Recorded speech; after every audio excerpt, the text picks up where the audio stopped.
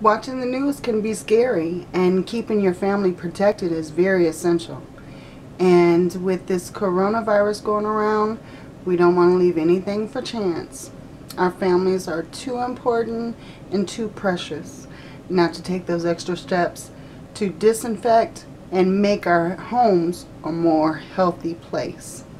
So, stay tuned for um, some tips that I'd like to share to help you make your home a little bit more safe and free from um, the coronavirus or any other virus for that matter. Stay tuned.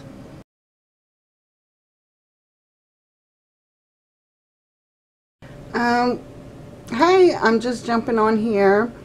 Um, I'm talking about the coronavirus and um, it's actually a severe acute respiratory syndrome. And see, some of the symptoms are initial flu-like symptoms such as fever, coughing, breathing difficulties, fatigue, myalgia. And it has an incubation period of 1 to 14 days. Um, it says that the, the transmission is human to human transmission via respiratory droplets. So it does seem like this virus is now airborne. So it could be pretty easy to um, have a transference of the virus. So what you want to do is you want to avoid close contact with individuals who are sick. Of course, frequent hand washing with soap and water. And not touching your eyes, nose, or mouth with unwashed hands, of course. That, that's just good hygiene.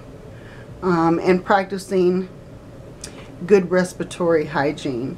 That's also another one that you know, we, we frequently do. If, if you're coughing or you're sneezing, of course you want to avoid people or avoid the grocery stores, things like that. So, um, I just wanted to give you a few of the symptoms and talk a little bit about this. Um, like I said, I had a few clients who uh, had a few concerns and um, I wanted to put their minds at ease and I figured that um, my YouTube family would have the same concerns. So of course I want to share what information that I can share being a cleaning professional um, as much as I can. So I hope these help and please keep in mind that the information can change on a daily basis. So I'm trying to give you the most updated information I have at this moment. So I've had thank you clients ask me how they can protect their home more from the coronavirus or what they're calling COVID-19. And this virus has been around for a long time.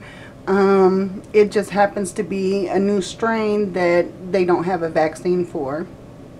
So I just wanted to jump on here and figured um, you may have the same concerns as some of my clients. So I just wanted to talk to you about it and how you can disinfect your home to um, help protect your family from the coronavirus. And there's some basic steps that you can do that will help um, protect your family. It's added protection uh, around your house. And some of the things you may already be doing, but if you're not, you can add these things in when you're doing your simple cleaning. It will take you less than 10 minutes to add this extra protection for your family from the coronavirus. And basically, these things are um, to use a disinfectant. You know, they have, um, I use Clorox cleanup or another bleach cleaner. They also have the disinfecting wipes, which make it really easy. but just go around the house and you can start at the front door and at the front door uh, disinfect your doorknobs and your locks uh, whatever that you touch on a frequent basis. Make sure you do the inside and the outside. Uh, you can also go around the house and disinfect your doorknobs. That's another area that's touched quite frequently. And by disinfecting those, you're actually stopping the spread of germs. Um, another thing you can do is to disinfect your light switches. That's something that people don't normally think about, but you're touching on a regular basis. So by disinfecting your light switches, that actually helps. Um, you also want to give attention to like your refrigerator handles, stove handles, other things um, that you're touching quite frequently. Cabinet handles are another one. Um, drawer pulls, um, faucet knobs, the cold and the hot water. Um, those are touched quite frequently. A toilet pulls, uh, to flush the toilet, those are touched. So those are all things that you can disinfect so that you can protect your family. Um, there are a few that you may not think about, and that's disinfecting your remote controls.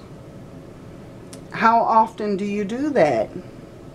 You know, those are things that you actually use on a very frequent basis. So it just makes sense to disinfect those things.